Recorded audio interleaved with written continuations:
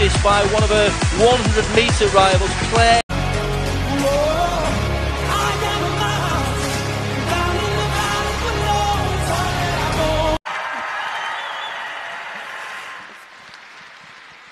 Thank you, Anna. Ooh.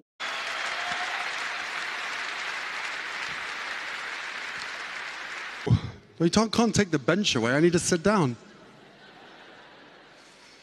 Äh, vielen Dank an alle Düsseldorfer und vielen Dank an Deutschland.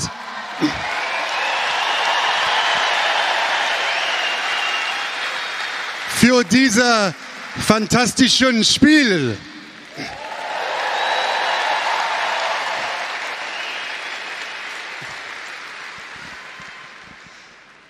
As you have seen and experienced, this week is so much more than a sporting event. It is a platform for positive change. The ripple of respect has been felt far and wide, and we hope you too are feeling it deeply. And I'm sure you're all physically exhausted. Who wouldn't be? But I also hope that you are mentally stronger than when you arrived.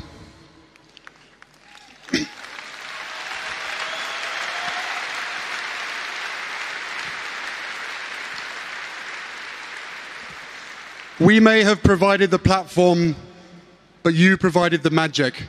And don't you ever forget that. We've all.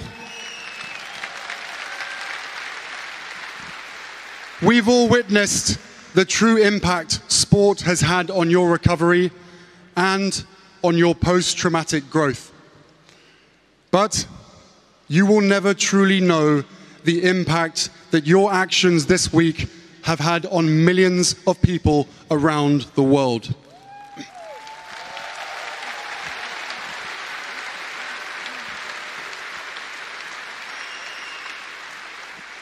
You have opened people's hearts through your vulnerability, through your resilience, and through your sheer abilities. You have shown us that joy can emerge from struggle, and for that, we are eternally grateful.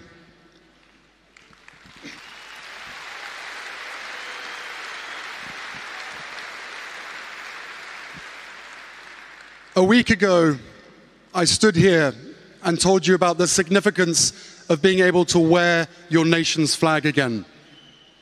And so many of you have told me that that hit you right here. For many of you, the uniform you've been wearing this past week will give you a new story to tell. And for others, it may give your old uniform new meaning. But I'm here to remind you that after all this, you don't need to rely on a uniform, nor should you ever feel lost without one.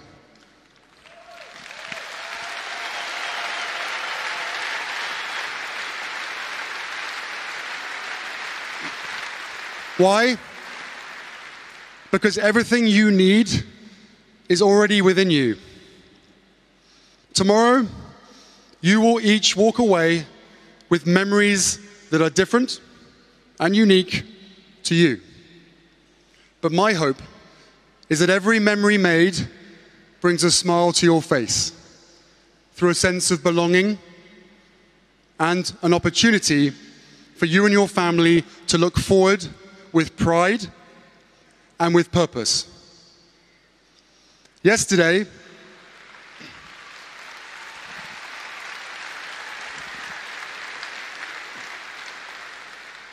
Yesterday, I met with Master Corporal James Gendron from the Canadian team in the Invictus 2025 tent. James, where are you?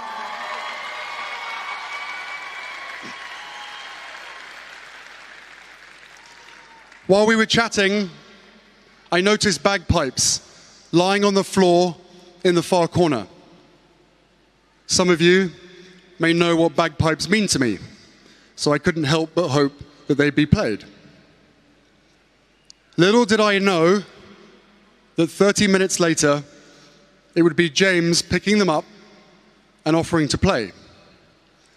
Yet I had no idea what they meant to him.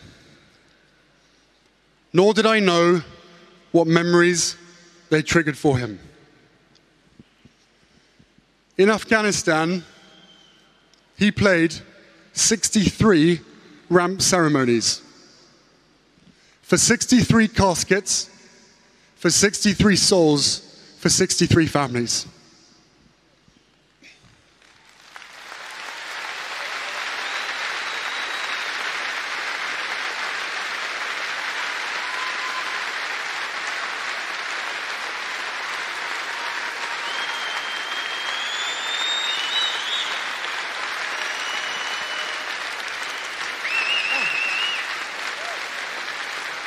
One, two.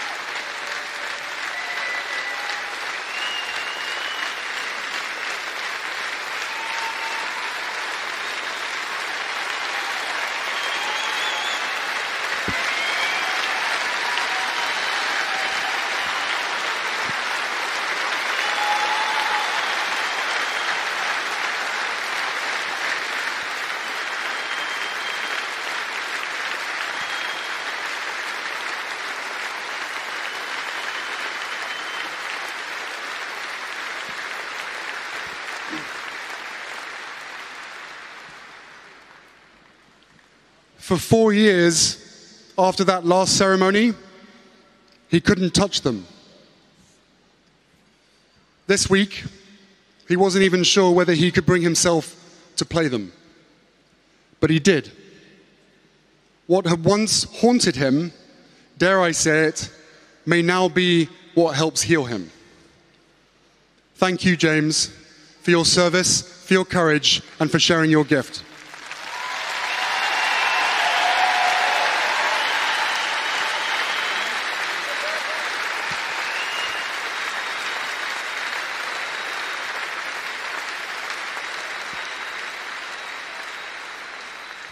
So many of you and your loved ones have been to the darkest places imaginable.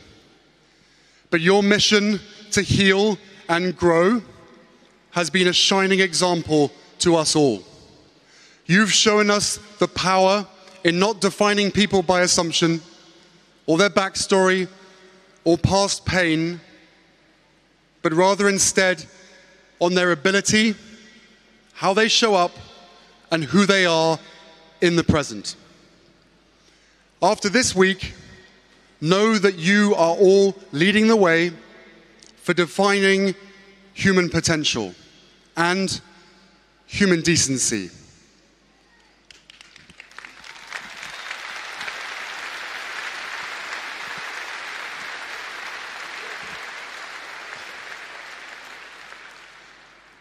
We value you we need you, and the world does too. And next year, we've got a lot to look forward to. The Invictus Games Foundation 10 year anniversary. Yes, 10 years. And then, and then it's off to Vancouver Whistler 2025.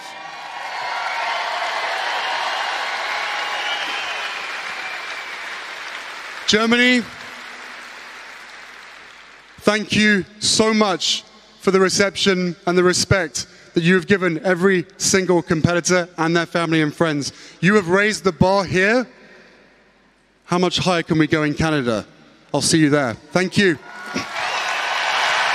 I'm very grateful to the Duke of Sussex as someone who himself has been in combat for initiating and launching the Invictus Games nine years ago. Thank you for that.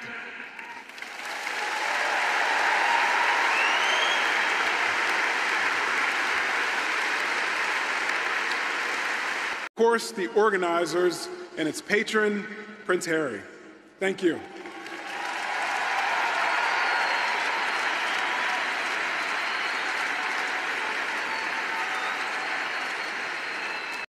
extraordinary competition. I am honored to join you for the closing ceremony of the Invictus Games Düsseldorf 2023.